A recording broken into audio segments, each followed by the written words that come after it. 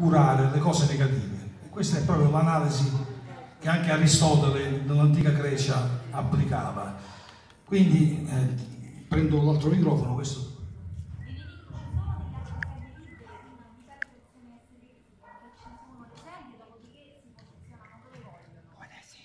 penso che avete sentito direttamente da Valentina, quindi ci, sono ancora delle sedie libere, quindi chi vuole si può, si può, sedere, ma penso che tra un po' quando partirà la, la catarsi non sarà seduto più nessuno perché eh, diventerà, diventerà, difficile stare, stare, fermi, stare fermi quindi ci, ci sarà da, da, perdersi in questa catarsi, diciamo. No? Vi leggo brevemente quello che è l'idea, che cosa è stato questo questo progetto, insomma, come, come nasce, no?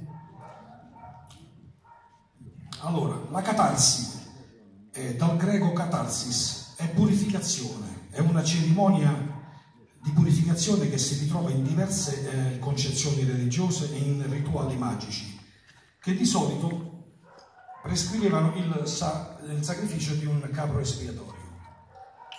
In psicologia la catarsi fa riferimento a una strategia terapeutica. Il suo scopo è combattere le, le diverse emozioni negative che ossidano la vita.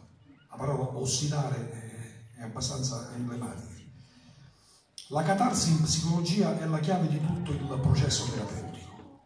La sua finalità è giungere al momento di liberazione delle, delle tensioni conflittuali Attraverso la catarsi allontaniamo dalla nostra mente la rabbia, la tristezza e le frustrazioni.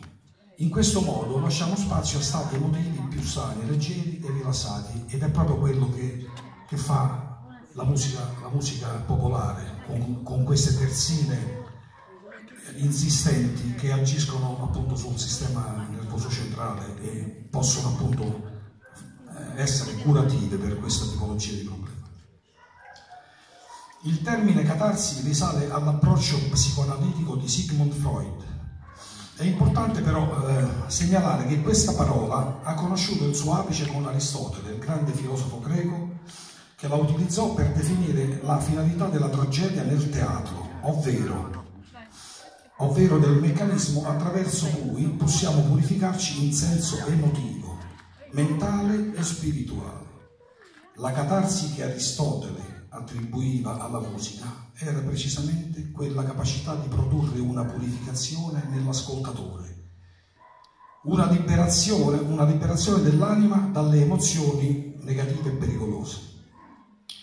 Nel suo scritto sull'anima Aristotele sostenne che la musica, come le emozioni, avesse origini dal movimento. Eh, cosa c'è più movimento della musica popolare? movimento di ballo, movimento di suono. Le ricerche dell'antropologo culturale Ernesto Di Martino rappresentano un accurato e sorprendente studio sul tarantismo. Tale nozione incorpora un sistema ideologico complesso che nella credenza popolare è legato a una fantomatica patologia dovuta al morso della cosiddetta taranta, la licosa tarantula Tale è il ragno di grande dimensione, dimensioni, il cui morso si riteneva causasse depressione, melanconia, cetatonia e delirio. Dolori addominali e muscolari. Questa varietà